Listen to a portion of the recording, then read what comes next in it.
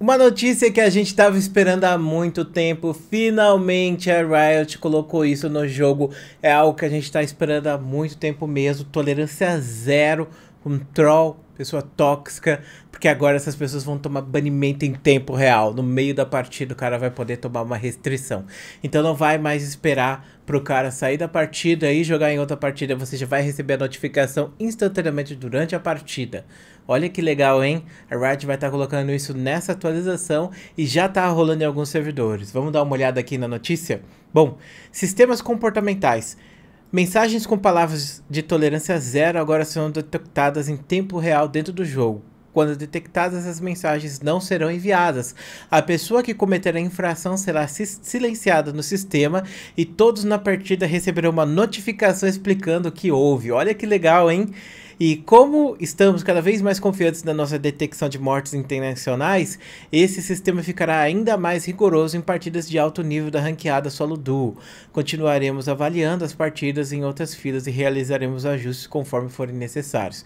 Pessoas honradas recentemente agora ficarão visíveis nos menus adicionar alguém e pedidos de amizade, querendo garantir que seja bem fácil encontrar aquelas pessoas com quem foi legal jogar. Então, League of Legends vai estar tá lançando um sistema que vai banir esses jogadores em tempo real durante as partidas. E é óbvio que eu tenho aqui para mostrar para vocês como é que vai ser isso, né? Basicamente, os jogadores estavam numa partida lá e o cara começou a falar um monte de porcaria, que no caso é esse Victor. E aí o cara tava xingando, xingando, xingando, xingando e ele tomou uma punição. A punição você vê aqui, ó. Tá vendo aqui, ó? Essa parte aqui em texto é, o nome do cara, né, foi multado pelo resto da partida por utilizar linguagem é, inapropriada e não vai receber qualquer mensagem de chat. Então o cara perde completamente acesso ao chat por estar tá falando porcaria, por estar tá sendo tóxico. Isso vai acontecer com você que fica escrevendo demais no chat e vai ser em tempo real. Eu acho que isso é ótimo até por causa do feedback, porque às vezes o cara é tóxico, termina a partida, aí ele já esfriou a cabeça e ele não sente que ele fez aquilo, sabe? Ele esquece que ele foi realmente muito tóxico, ele só pensa, o cara era muito ruim, eu xinguei ele e foi isso aí, sabe? As pessoas elas tendem a diminuir um pouco depois que passa, né, aquela raiva do momento. Até porque, né, as pessoas fazem essas coisas geralmente quando elas estão, né, nesses momentos de estresse absurdo.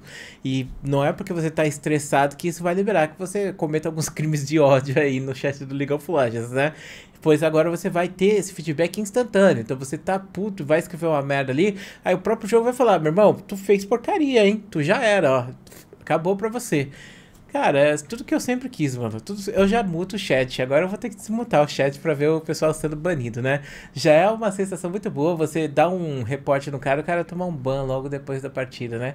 Mas durante a partida, pô, vai ser muito louco isso. Eu realmente vou ver bastante. Mas enfim, tá aí o vídeo. Eu espero que você tenha gostado. Muito obrigado por assistir até aqui. Um grande beijo pra você, um grande abraço e a gente se vê depois.